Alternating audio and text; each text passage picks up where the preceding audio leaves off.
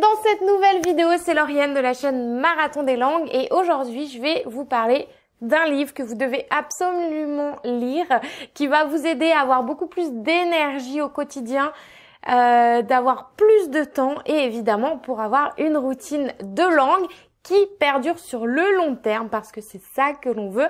On ne veut pas abandonner, on veut réussir à apprendre une langue sur le long terme pour avoir des résultats. Euh, on se retrouve juste après le jingle.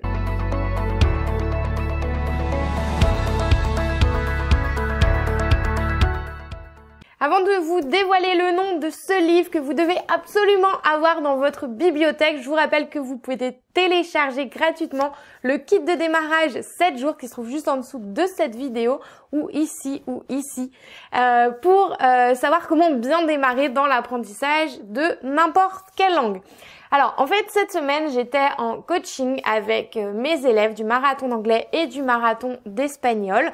On a fait un coaching exceptionnel, tout le monde était ensemble, toute la toute la famille, parce que en fait eh bien euh, il y a beaucoup de questions qui euh, sortaient du fait du contexte, du comment conserver sa routine de langue, comment reprendre une bonne routine de langue, comment reprendre de bonnes habitudes malgré ce changement, parce qu'à chaque fois qu'il y a un changement eh bien il nous faut toujours quelques jours pour s'habituer et reprendre de bonnes habitudes.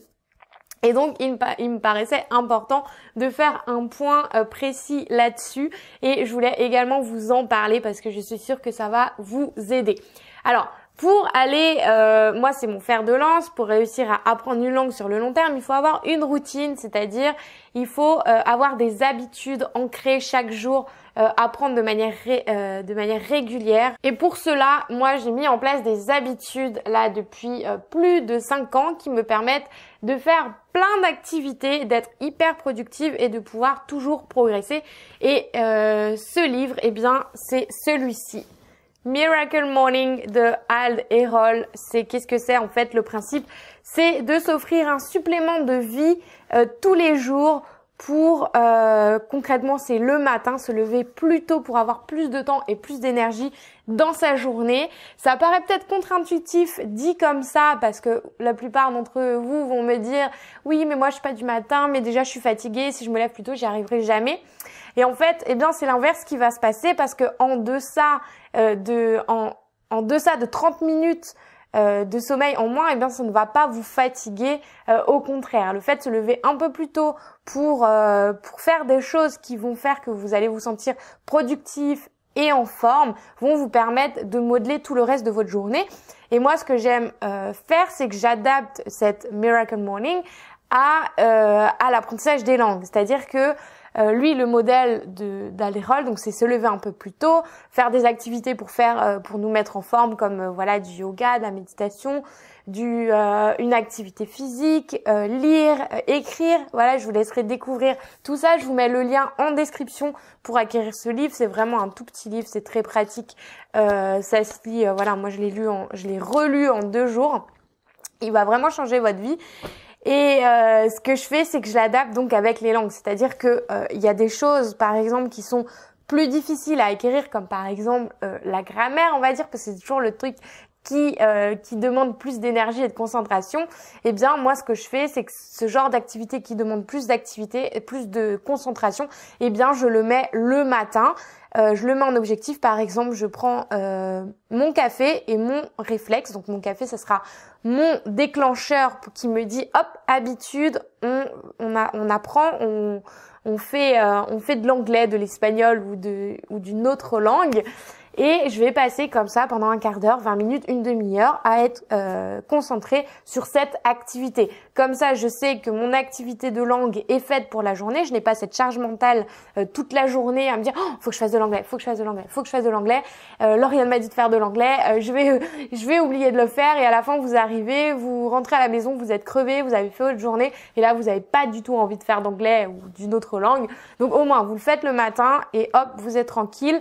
Euh, c'est le minimum. Hein. Vous savez que dans, les cours, dans les formations, je vous recommande toujours de répartir ça en différents créneaux tout au long de la journée. Mais au moins, c'est ce qu'on appelle la grosse pierre, c'est votre priorité, vous le faites le matin et vous êtes tranquille. Et oui, je voulais aussi partager ces trois étapes avec vous qui vont vous permettre de perdurer dans le temps parce que c'est vraiment ça qui va vous donner des résultats. C'est combien de temps vous allez être capable de vous discipliner pour euh, à, conserver cette routine parce que c'est plus on va pratiquer, plus on aura des résultats, ça c'est évident. Et euh, ce qu'on retrouve dans ce bouquin et que je trouve très euh, très vrai dans l'apprentissage des langues, c'est en fait c'est que vous avez trois phases quand vous intégrez des nouvelles des nouvelles habitudes. Et il s'agit bien de ça quand on apprend une langue, c'est vraiment la mise en place de nouvelles habitudes. Et euh, il nous dit c'est que on est dans la première phase, vous avez la phase 1, donc la phase du jour 1 au jour 10. Lui, il la surnomme la phase insupportable. Donc si par exemple vous décidez de vous lever un peu plus tôt euh, tous les jours ou que vous décidez de faire de l'anglais un peu tous les jours, c'est qu'au départ, eh bien, euh, ça va être euh, une fois que vous aurez passé le pic d'enthousiasme, vous savez quand on démarre un projet, qu'on achète toutes les nouvelles ressources, on est au taquet et que deux jours après on abandonne parce que voilà le pic est redescendu, eh bien, il nous dit qu'en fait c'est normal parce que notre tendance en tant qu'être humain, on a une tendance à rejeter tout changement. Et là, quand on met en place une nouvelle habitude, eh bien, il y a un changement qui s'opère. Et euh, la bonne nouvelle, c'est que c'est temporaire. C'est que bien qu'il faille euh, se discipliner, avancer, se forcer pour avoir cette euh, nouvelle habitude, c'est que c'est que c'est temporaire. C'est qu'on sait que ça va être beaucoup plus facile par la suite. Et lui, l'exemple qu'il donne, donc forcément, ça m'a bien parler parce qu'il parle de course à pied, c'est que lui, tout au départ, euh, un ami lui, donc de l'auteur, lui avait recommandé de courir parce qu'il était pas en meilleure forme physique. Et il dit oui mais moi je déteste courir, euh, je, je, non j'ai pas envie. Et puis finalement il s'est rendu compte qu'il y a un moment il fallait quand même qu'il se mette un coup de pied aux fesses. Et il s'est mis à courir donc il est allé le premier jour. Donc ça a été l'enfer hein. de toute façon toute personne qui démarre la course à pied ne peut pas dire qu'il aime ça. C'est comme euh, la, cigarette. La première cigarette elle est jamais bonne et pourquoi on persévère euh, voilà c'est pas un bon exemple la cigarette mais la course à pied, c'est ça, c'est que plus vous allez y aller et plus euh, moins ça sera difficile et plus ça sera fluide. Et ensuite, vous allez rentrer dans la deuxième phase. Euh, du jour 11 au jour 20. Donc là, c'est un peu moins désagréable que la première phase, ça sera plus facile, ça sera un peu plus fluide. Euh, ça demande toujours un peu de discipline et d'engagement de votre part. Et c'est là où il faut continuer à persévérer, encore une fois, parce que là, vous allez entrer dans la troisième phase, on va entrer dans les jours 21 à 30 où là, l'habitude va commencer à être intégrée et ça va être encore plus fluide. Et en revanche, il y a quelque chose euh, auquel il faut faire attention, c'est que le 20e jour, parce que selon les études, et c'est vrai, il nous faut 21 jours pour intégrer une nouvelle habitude. Mais vu qu'on a euh, ce schéma en tête, là, euh, beaucoup de personnes vont s'autoriser une petite pause, se dire ok, c'est bon, à l'habitude intégrée, je suis arrivé aux 21 jours. Et en fait, c'est là où ils vont lâcher, c'est très délicat, alors que les 10 jours euh, suivants, donc du 21 au 30, ils sont indispensables parce qu'ils sont, ils vont permettre d'installer sur le long terme votre nouvelle habitude. Et ça, c'est important de continuer à persévérer. une fois que vous êtes passé là, eh bien, cette nouvelle habitude, elle va faire partie de votre vie. C'est comme un brossage de dents. Vous n'aurez plus besoin de vous dire ah faut que je me brosse les dents, faut que je me brosse les dents. Non, ça on le fait avec nos enfants euh, au départ. On est obligé de leur répéter tous les jours, tous les jours, et à un moment ils l'intègrent. Et eh bien là c'est la même chose. Et euh, pour reprendre une phrase qui m'a vraiment parlé dans ce livre, c'est qu'il nous dit cette phase, c'est cette phase comble l'espace entre ce que vous essayez d'accomplir et la personne que vous devenez. Donc oui, euh, ou non, ce n'est pas évident, non, ce n'est pas facile, mais une fois que vous avez passé ces 30 jours, ça devient euh, partie intégrante de votre routine. Et je peux vous dire qu'en 30 jours seulement, si vous êtes régulier et que vous faites des langues tous les jours, vous aurez des résultats. C'est certain, à chaque fois, je vois une transformation incroyable euh, chez mes nouveaux élèves du marathon d'anglais ou du marathon d'espagnol. Au bout de 30 jours, pour ceux qui appliquent euh, le plan d'action, eh bien, il y a des résultats très très rapides. Et ça, ça nourrit la motivation. Donc, je vous invite vraiment à, euh, à mettre ça en place dans vos habitudes. Pour le reste de la méthode, je vous invite à, à la découvrir dans le livre. Et voilà, j'espère que cette vidéo vous a appris quelque chose, que vous allez mettre en place votre nouvelle routine, vos nouvelles habitudes le matin.